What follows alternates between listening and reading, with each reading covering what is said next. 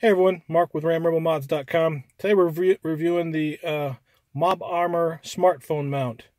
So I tell you, I got this because um, I just didn't like the phone being down down here. I, I love it. I love this right here. I like that you can set your phone somewhere and it's cool and everything. But you know, if you're, I know the truck has GPS and stuff, but I use Waze sometimes. Um, so you know, and if I get a text message or something, I just don't like looking down because it kind of takes my eyes off the road. So um, I got uh, this right here, and one of the reasons I got it was because it's metal.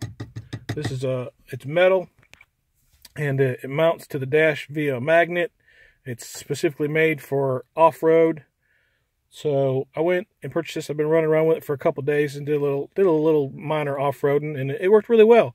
So I thought I'd come and show it to you in case y'all were interested. So um, it's really easy to mount, and it's stuck on there pretty good by the magnet here. So it comes with um, the magnet mount right here. It's a 3M tape backing. You just clean the surface real good. You stick this where you want to put the, the mount and you go from there. Um, so uh, this is the back of it and it has a tether also right here that you can hook uh, to the mount. So if it does for some reason pop off while you're off-roading, um, it will dangle and it won't hit the your phone won't hit the ground. So that's pretty cool. I'm not going to use it, but it's there if you want to. Um, but you can see the back of it. Here's the adjustment for the height of the phone, uh, the magnet, and uh, this swivels uh, however you want to mount it. So uh, I chose to mount it right here so I could see it. I didn't want it very high because I didn't really want it to mess with the windshield, and I didn't want it uh, very low because I didn't want it to mess with the, you know, my starter and uh, the pedal commander. But I chose to put it uh, right here, and it seems to be working out really well. So I'll kind of show you how I did it, or show, show you with a cell phone in it. So, um, you know, he just, like I said, now this thing's in the way, crap. But uh, it just mounts right here via magnet. It's very sturdy once it's mounted in here.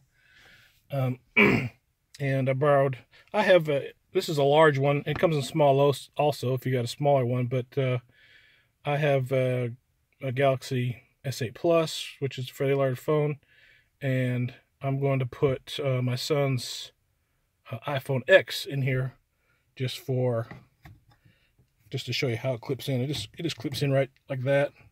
I don't, like I said, I just, I just now adjusted it for his phone, so I don't have it too tight.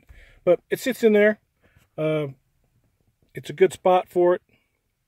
You can see past the steering wheel. If anybody think any uh, alerts come up on your phone, uh, you'll be able to see it right here, just under eye level, and uh, a little safer to look at. And you can still see the road without looking down to the conventional holder down here. Anyway, like my channel, please subscribe. It helps me out. I appreciate you watching.